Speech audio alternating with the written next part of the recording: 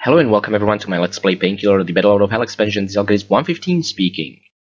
Now, you might be a bit confused as to why am I doing this video seeing as we finished the entire Battle Out of Hell expansion, and you might be asking what to do next. Well, uh, the reason I am making this video is to answer that question exactly. For those of you who just didn't have enough of Painkiller action, like me, there is still something to do. Now, if you remember, you can start the new game, the original one, and choose any of the difficulty modes and you know if you finish the game on Daydream, Insomnia or Nightmare uh, you will finish the fifth chapter and see the ending. However, if you finish the game on Trauma difficulty you will finish the game on fourth chapter and see a bonus ending. Now there is, just like in the original game, in Battle Out of Hell expansion, if you finish the game on Trauma difficulty there is a little bonus in the end which is the main reason I'm making this video to basically show you what it is. However, in order to reach, to unlock the uh, trauma difficulty, we need to unlock 9 Black Tarot cards to activate this mode, as it says here now. Feels like it's been just a couple of days since we've seen this exact screen when I was recording the very first level of this expansion, but, you know, we've been through quite a huge journey. So let me just find a save here. Uh, if we just saw this by the date and time, there it is, the orphanage. Now, the moment we finished fighting King Alastor in the previous video, yeah, killing him at 350, close call, really, the game basically throws you back to the orphanage after the credits roll. You know, the first level of the expansion, and you can just play again, you know, simple. It also creates an auto-save file for you, which is extremely handy because it creates a save as a starting point for you, where, just take a look at this, you have a complete card collection. Now, I can't even tell you how amazing this feels. Every single one of these cards has some unique story behind it, and we've collected them all. I mean, the amount of stuff we went through to get these, it's amazing. And I myself in real life really love uh, Magic the Gathering trading card games, so I have kind of a weakness for card collecting, and uh, this game exploits exactly that. Uh, anyway, so we have complete card collection, and you might be asking yourself, well, okay um, what to do now? So there are two things I want to show you. Uh, one we can actually with this complete card collection revisit the original game of the painkiller. Uh, however it's not as perfect as you might think. Now what I'm trying to tell you is that if you start sign a new pact of the original game with your card collection you know not deleting your progress of course um, you will be thrown into card the short card collection menu, excluding all the expansion Black Tarot cards. So you might be wondering, well, what's the point? Well, you can equip some of these cards, let's say uh, the... Yeah, let's say the Health Stealer. I want to just basically equip cards that I can visually show you in effect. Health Stealer and the 666 ammo. Uh, along with that, let's say we want the weapon modifier, we won the scepter, so the enemies are weak. And let's say, uh, I don't actually want the demon morph for, for this particular example, it will get in the way of every other golden card. Uh, let's say magic gun and never waste any ammo, you know, simple. So, with these cards equipped, let me just return to the main menu, sign the pact, let's go to the original game. Yes, we want to start a new game. No, we do not want to lose all our Black Tarot cards and scores. And now, Let's, for example, pick the trauma difficulty. Okay, I skipped the cutscene there, we've seen it. And uh, if you just open your card collection here, that's it. The expansion cards are gone. However, those that you have equipped are still equipped even if the interface doesn't show this. Moreover, what this means that on top of having those cards equipped, you can actually equip additional ones. Now, let's just see. Um, in case of golden cards, well, let's say the time bonus, all of them will profit from this. And along with that, I don't know, let's confuse enemies, and uh, dexterity and weapon modifier is always fun. And seeing as this is trauma difficulty and we don't need, there will be no souls, let's just get the blessing active and uh, let's say greed, you know, double the amount of hidden wealth, for example. So with these cards equipped, let us start the cemetery level. it still remembers all our old scores. This is actually pretty... I don't know, it just gives me watery eyes. Makes me very nostalgic.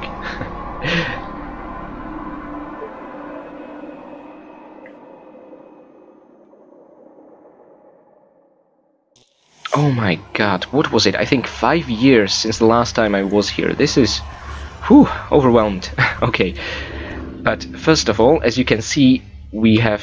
Well, let's first pick up a weapon that has actual ammunition. But first, let me see about the gold. So, we have collected zero gold coins.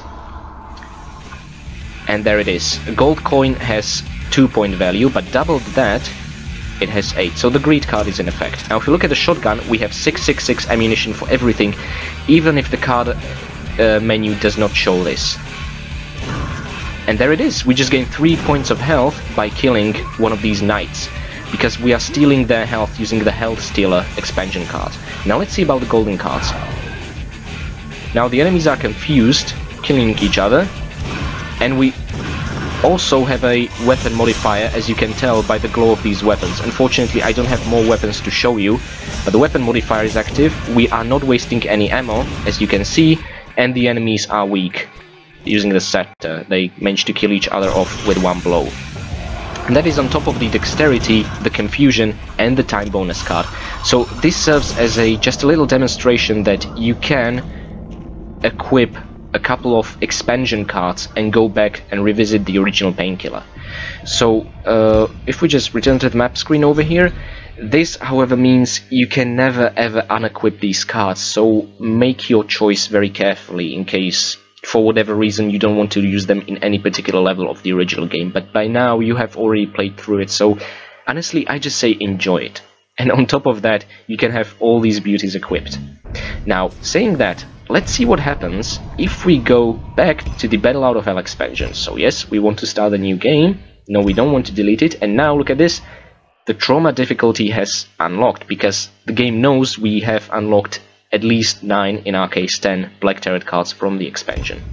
So even if the screen, the card screen is not showing this, uh, there the game somehow remembers that we have them. Now, you might be wondering, wow, what happened here? Well, that's simply the glitch. The interface can't handle four silver cards being equipped. And you might be wondering, well, great, now I'm screwed. I lost my three golden cards. Well, no, you didn't. Let's just put everything back here. Leave the uh, card screen and go back. And as you can see, everything is in the order we originally put it into before leaving the expansion. So let's just put everything back and there we are. Beautiful. So basically this is how you can revisit the original game and use some of your expansion cards on top of the uh, vanilla cards. Of course, this doesn't work with the original cards. You can only combine the expansion ones with the original ones. Now, saying that, um, I told you that there is a bonus level after we finish the entire expansion uh, on trauma difficulty. So that's exactly what I'm gonna do. Now, don't worry, I've already played through the entire game. I'm not gonna be recording this. I'm just gonna make pay, uh, play this on my own personally to get there. Uh, however, the reason I'm still here is I probably just want to sort of think about which cards might be most beneficial for the journey of Battle Out of Hell expansion on trauma difficulty. So uh, if we just think about it, there's the Demon Morph, you know, it will help us just get through everything easily. There is also the case of Rebirth, which will fully regenerate health and armor. I mean, just think about levels like Leningrad. So insanely difficult. But this time, we don't have to worry about souls. However, uh, we might be thinking about, let's see, uh, the armor regeneration combined with the health regeneration. Or there's also the health stealer, which, as you have seen, can be pretty damn powerful. I mean, we leached two to three points of health from every single shotgun blast to those uh, knights in the cemetery level, just as I've shown you. So really, it's up to personal preference. I say on trauma difficulty where there is no way to gain health, health regeneration, perhaps coupled with health stealer, might be pretty damn powerful. But you might also consider health regeneration and armor regeneration to always keep these values at 75. That is also pretty damn amazing. Couple that with the rebirth, you will, in many difficult encounters, find yourself uh, uh, with uh, fully prepared. However, remember, mercy still takes up one spot, and I'd say that is a priority here. So I think my personal choice would be the health stealer combined with mercy. And by smartly using these three opportunities for golden cards, we could get something out of the rebirth, it will not be useful for that particular scenario, but for the future scenarios after we finish fighting as a Demon Morph. Now for both Demon Morph and Rebirth, we don't really need the time bonus. That is a huge advantage, let me tell you. And yeah, with this in mind, considering we are just gonna morph into a demon, the only way we can improve upon this is either with dexterity or speed. Um, I personally find dexterity to be more fun. So I think this is my loadout for the trauma difficulty of the Battle Out of Hell expansion. So really at this point you have worked hard to completely fill up your collection. As you can see me messing up, uh, messing with my cards have has really drained our treasury, our coffers. I only have over 6,000 gold coins now, but I don't mind, you know, it's worth showing you. And really, so at this point, just start playing the orphanage level, make it all the way to the Shadowland to fight with King Alastor again. As you can see, it still remembers our old scores. And yeah, when I'll do this, uh, I'll see you guys after that, because uh, the game should take you to the bonus level only accessible if you finish all this in trauma difficulty. So wish me luck, I'm gonna have a blast of a time and I hope you guys will too because this time we won't have to worry about secrets, destructible objects, uh, card unlocking statuses, we're just gonna play this game however the hell we see fit. So I'll see you guys when I've made it. And I'm back. Finished playing through the entire game on Trauma difficulty with the Black Tarot card handset I showed you a while earlier. It was an amazing fun, I definitely recommend it. Uh, the reason I'm here in the map screen again and not in the bonus level I mentioned is that there is one last obstacle, and yes, that is once again King Alastor. We have to defeat the bastard in Shadowland all over again, this time on Trauma difficulty, and the game will throw us directly into the bonus level after the final cutscenes and credits roll. So let's do just that. Uh, this time it should be much much easier. First of all, we know what to do. Second of all, we have a better Black Tarot card set. On the other hand, this is trauma difficulty. We are gonna get obliterated in a matter of seconds if Alastor decides. So, yeah. Let's hope he will be more attracted to those stone golems instead and not waste our time. Oh my god. This feeling of, you know, nearing to an end of a playthrough is quite irreplaceable. Now I use Black Tarot cards here just to make sure that fall will be safe, but it doesn't really matter, I just wanted to get safely to circles. Let's just actually stay here and as soon as the Demon Morph ends, let's equip a grenade launcher. Or maybe... Okay, no, he kind of missed. That's actually really impressive. Anyway, we triggered one. Let's see what will happen, but let's, you know, as sort of a backup device, run to the other circle immediately. Yep, that didn't work, unfortunately. Okay, full health granted, thankfully. We trigger another circle and the golem over there is rebuilding himself. I suggest we pick up an armor and position ourselves to the following circle over here. And if not this golem, hopefully the third one will do the trick. It really depends on how distracted Alastor will be. Oh dear. I don't think that golem really did... Oh yes, he stunned him. Now's our chance. okay, so uh, as you see, this was much, much, much easier. And down he goes. Okay, so there we go. We have finished all the levels on Trauma difficulty. Oh, look at the abyss. And now our reward is imminent. Burn in hell.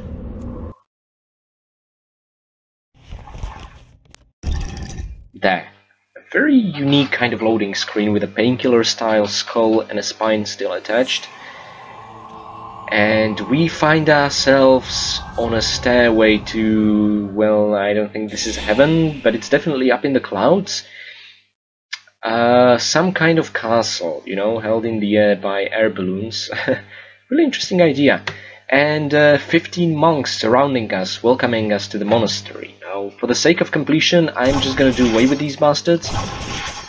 As you can see, we had 666 health points when we started the level.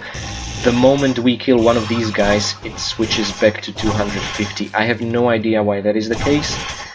But considering we will be taking some damage, even with friendly enemies in this level, it might be a good idea not to hurt these monks. But yeah, I'm just gonna do that for the sake of completion. Now let me just show you the statistics here. Yeah, card unlocking still is not available, but look, we have collected 332 gold. Now 200 is via the holy items, but look at the amount of coins inside these chests. Absolutely ridiculous. This is amazing. Very satisfying to collect them. so yeah, gold is also a kind of reward for making it through the trauma difficulty for your further card, black tarot card experimentation pleasures. Once we do away with even the gatekeeper over here, the cardinal or bishop, or what is he? No, more of a Vatican cardinal parody or something like that. Anyway, let's just gently touch him. Yeah, as you can see, all of these are extremely weak. They don't really have a full health. Uh, really, it's like down the permanent effect of a scepter. We see something very interesting down there. Now, these are the red souls of the developers of the game. Kind of a little Easter egg they put at the very end. Bart Sekura. That's a strange name. And our goal is basically to collect the souls of the developers that created the game. Uh, Michal Novak, very common. Um, there should be 23 souls. Uh, looking at the arrow at the top of the screen, you can see how many souls you've collected so far. So it's 2 and uh, 21 to go. Now this can be really tricky. Why? Well, as you can see, jumping there. Now this being trauma difficulty, you cannot unfortunately save. So be very careful with those jumping pads. You don't want to be doing this all over again, you know, and it's really annoying in that regard. Okay, okay, let me try and pronounce this.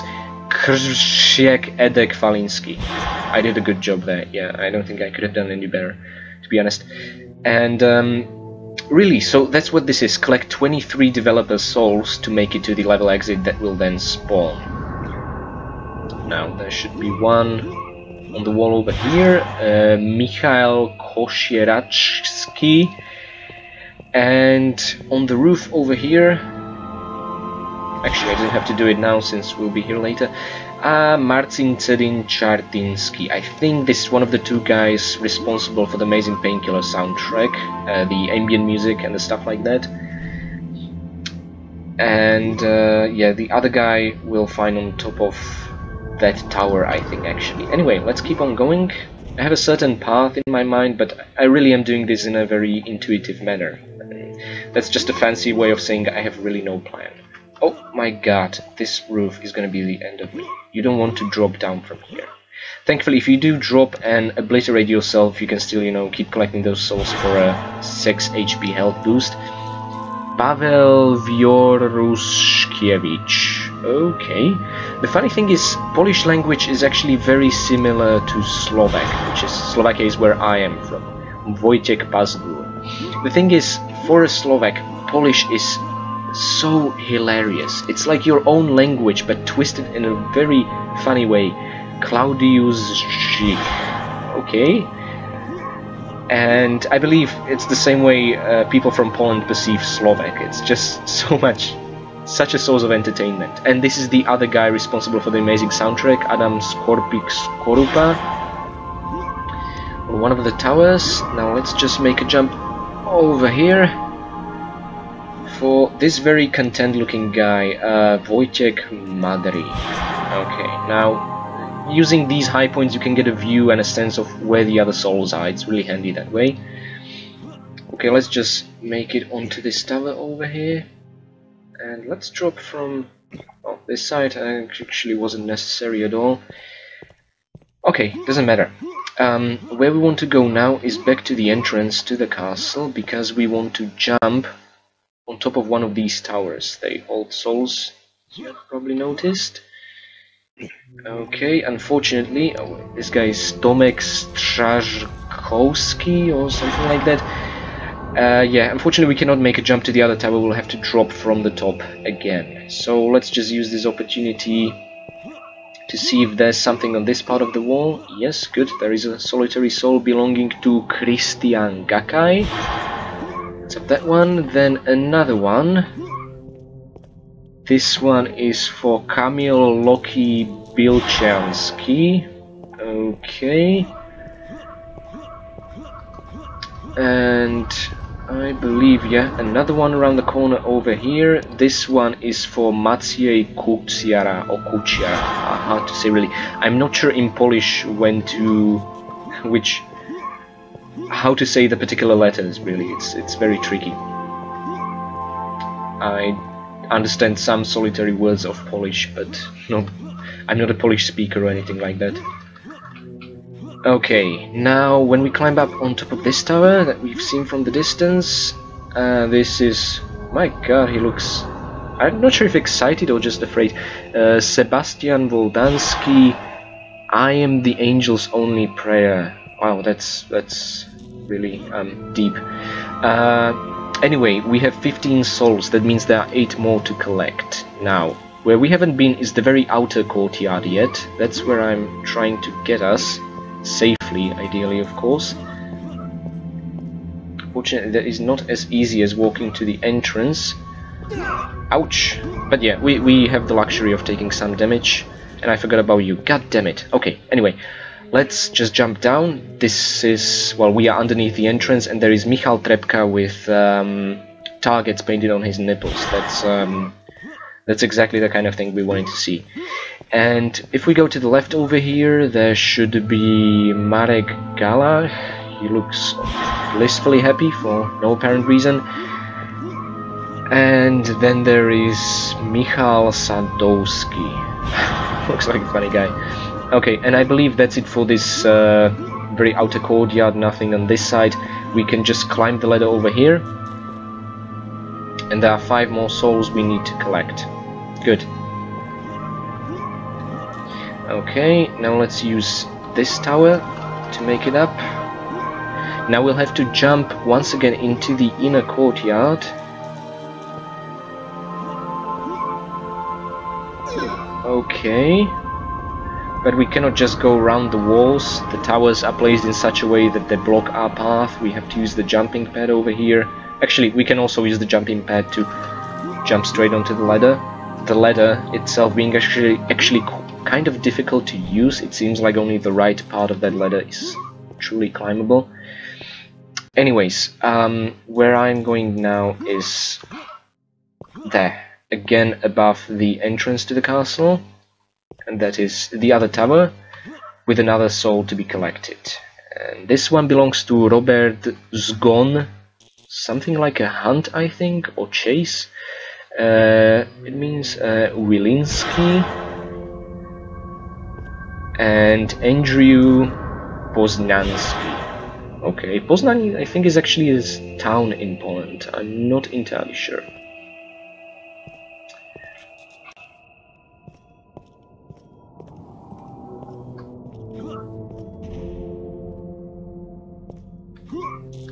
Okay, and finally, let's make it all the way up again. We are missing three souls, which is great because thankfully I know exactly where they are.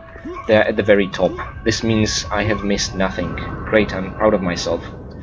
Because the placements are kind of counterintuitive. Yeah, so there was a hidden ladder here, and this is the most powerful jumping pad. Let's be ooh, very careful and get on top to see the devil Adrian Chmielarz himself. oh, this is a great picture. I think the best here so far. Um, this is, I think, the guy that was in the interview in one of the making of videos that are bonus for the Black Edition. Actually, I think I'm gonna record those videos and uh, upload them as extras on my channel, yeah. And I'll include them in both playlists, Battle Out of Hell expansion and the original. And... Slavek Pelatos, or Latos, I'm not entirely sure. And let's just go collect the very final one, belonging to Bartek Sokolowski, the disco guy. Wow, look at all that fabulousness behind him.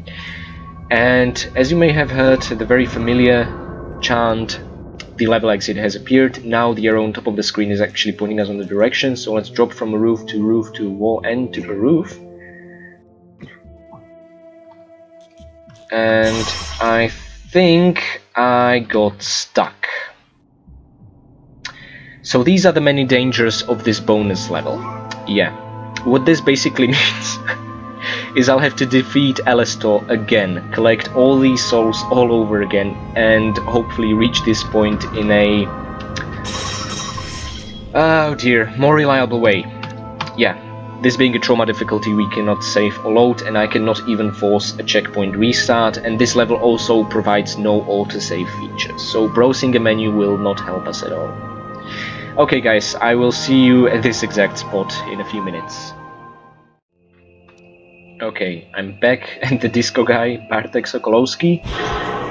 So please just give me another chance at this. I'm sure we'll manage to drop down without Daniel's S getting stuck on that panel. Ah, Martin, this is all your fault. Anyway, let's step through the portal and see what happens.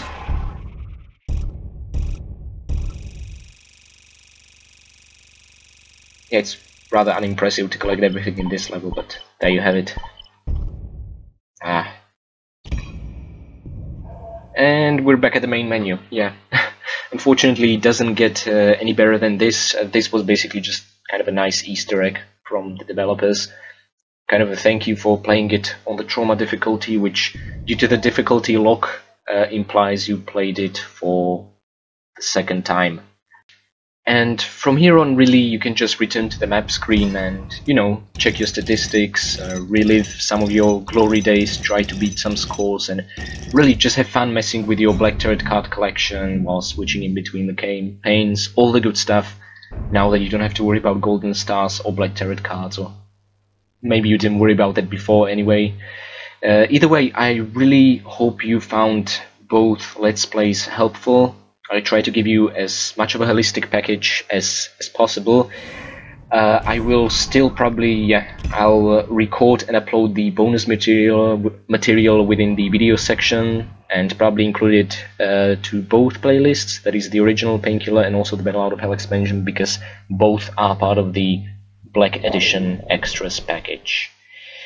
As for the future Painkiller installments, I am considering doing a let's play like this for Painkiller Overdose. The reason is that I consider Overdose to be a really good Painkiller game. It wasn't made by People Can Fly, but by Mindware from Czech Republic. Uh, very creative levels, enemies, weapons, and whew, an enormously tough difficulty. So that's kind of what I consider intimidating because I'm not really good at first-person shooters myself but we'll see. So anyway, yeah, I'm still considering that. Uh, I have currently been working on a Broken Sword walkthrough for 10 months, actually, since September last year till now. Finished that, and now I will be working on Tomb Raider 3 Let's Play. So yeah, in the future I'm considering the Painkiller Overdose Let's Play as well. We'll see what the future holds. Anyway, this is all from my side. Thank you for being with me on this amazing journey. I mean, Painkiller, that's yeah, I, I really have not much more to say about it. I think I've said it all over the course of these videos. Thank you very much, and I'll see you guys next time.